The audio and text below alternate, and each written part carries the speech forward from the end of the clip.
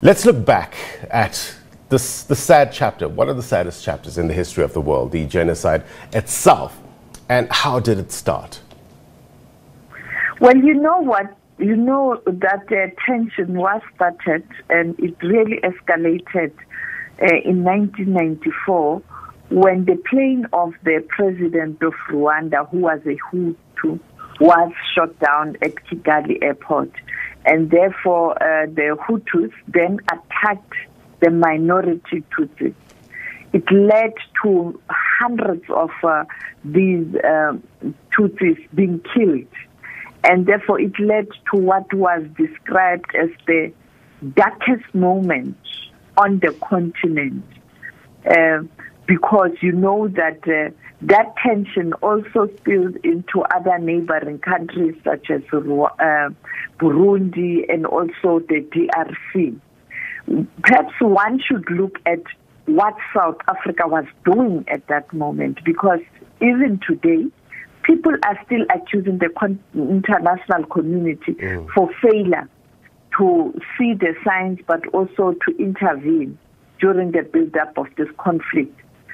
South Africa at that moment, it was in 1994, uh, the country was preparing for elections. And therefore, we are told, in fact, this was said by the former president of South Africa, Thabo Mbeki, that uh, the group in Rwanda did get in touch with the ANC then to make them aware that the then apartheid government was supplying arms in that country, and that may lead to a genocide.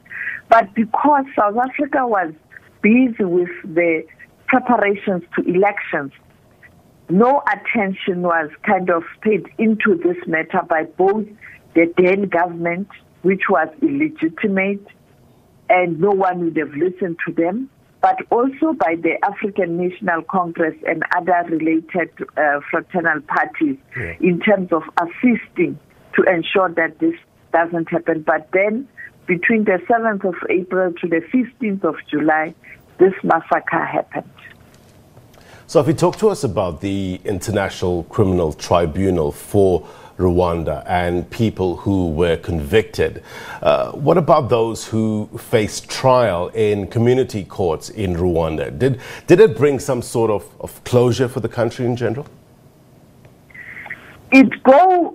It, I can say it, it, it goes without saying that uh, the establishment of such courts did help, but you still have people who are out of Rwanda, who are in neighboring countries or abroad, international community, like Europe in particular, in America, where the people who were perpetrators and supporters of this massacre uh, fled to. You know, they fled to countries such as uh, Belgium, France.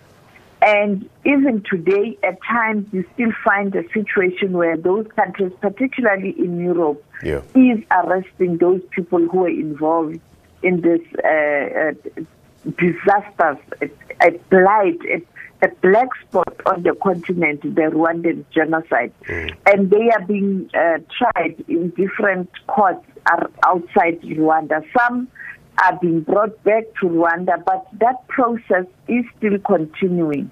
But the question is now people are asking questions that is this not now being used to hunt and to to, to fight with defending voices in, in, in Rwanda. And it has become another dimension in terms of uh, people accusing the current president, President Paul Kagame, that he is not actually addressing the problems of the past, but it is just a, a, a way to fight uh, his own battle. And therefore, now the international community must look at how this process is not being used to, uh, you know, clamp down on dissent mm.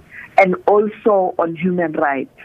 The alleged genocide financier, Felicien Kabuga, was arrested in France last year. Uh, what's the latest, uh, Sophie, with regards to that case? Well, he's still there. He's still in France. Uh, there was hope that he will be sent back to Rwanda to face trial. There are arguments that he's too old, and that process is still continuing. That is why I'm talking about as you get these people, ensure that the process is done and is done in a way that uh, it's not a way of uh, punishing other people who who hold a different view from the current view of the sitting president. And therefore, this process will continue. He is still there. There's hope that uh, the matter will be attended to this year. Mm. You know, the issue of uh, COVID 19 last year, uh, not much attention was paid into such issues, but all around the world, people were focusing on issues that are related to COVID 19. But uh, we know that uh, when I was in Rwanda in 2019, uh, the, the women uh, were gathering in Rwanda under the auspice of the African Union looking at development on the continent. Yeah. Uh, the women in Rwanda were telling us that those courts did assist because they were also involved. And this is what led to women in Rwanda being able to participate in decision making. Yeah levels, different levels, be it in the judiciary, the legislature, but also in cabinet. And therefore, I think uh, that healing process will continue and must continue. Yeah, we, we often hear. Uh, of policies encouraging rapid growth and technological advancement. Rwanda uh, also was one of the highest ranked countries in the world in terms of the most women uh, in Parliament. Uh, what would you say, Sophie? Uh, Africa, what lessons can Africa and the rest of the world learn from Rwanda? Well, there's a lot that uh, we uh, outside Rwanda can learn, uh, the, the, neighboring countries and African countries, but the world in general, in terms of empowerment of women, but also in terms of how a country can work very hard to ensure that uh, it does prosper. Even though perhaps in the countryside there are still challenges because as you do that, when you develop develop a country, you will still have challenges on you know in the countryside. Yeah. I think it is a good example.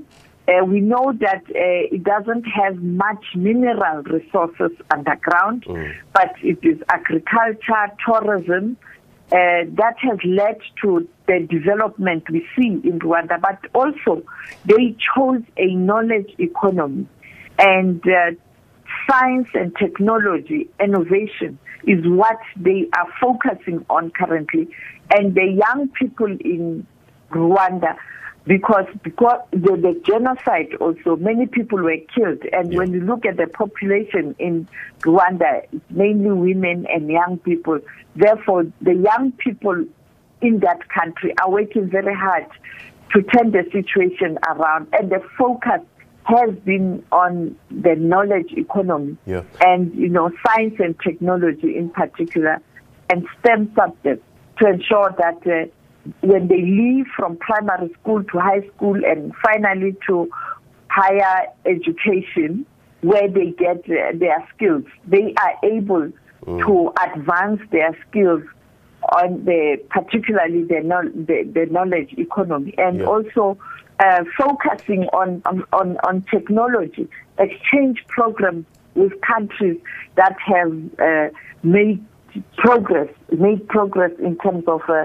technological advancement. That's a very important point, Sophie, which I want to just double down on with regards to the youth uh, working tirelessly uh, in that country in order to rebuild the country. Uh, with regards to the regeneration uh, in Rwanda, the, the renewal and the restoration, you would say that, that the genocide still casts a long shadow?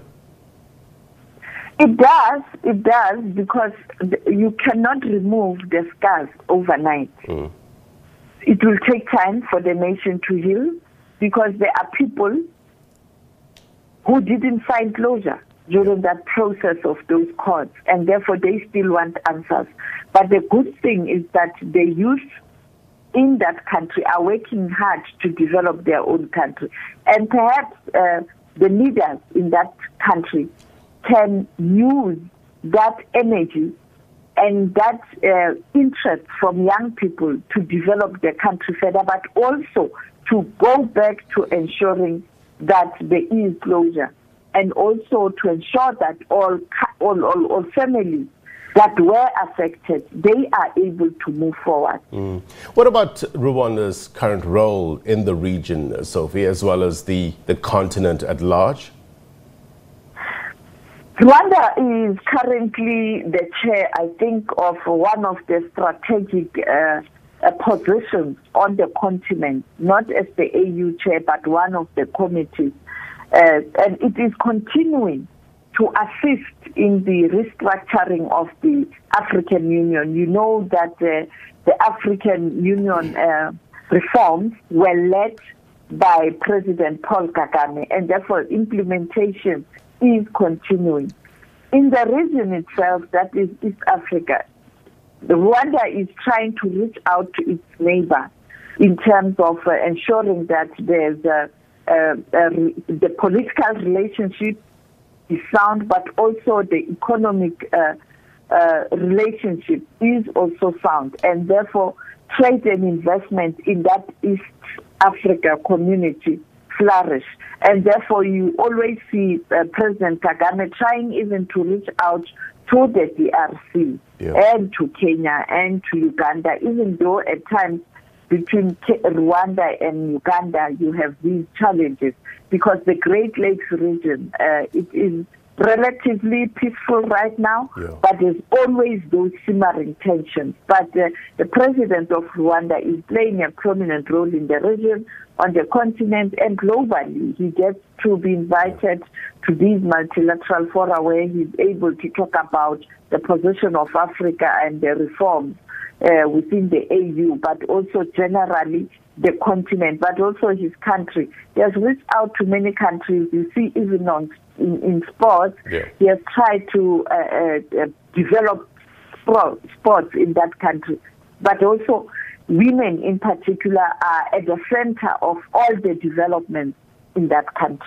There's very, various elements to the story, uh, Sophie, and we thank you very much indeed for bringing clarity and a perspective on these matters as well as context. Uh, be well. Sophie Mokoena, the, our foreign editor, SABC foreign editor. No doubt we will keep a close eye on the story uh, this week as that country and the rest of the world, in fact, commemorates the 27th uh, anniversary of the genocide in that country.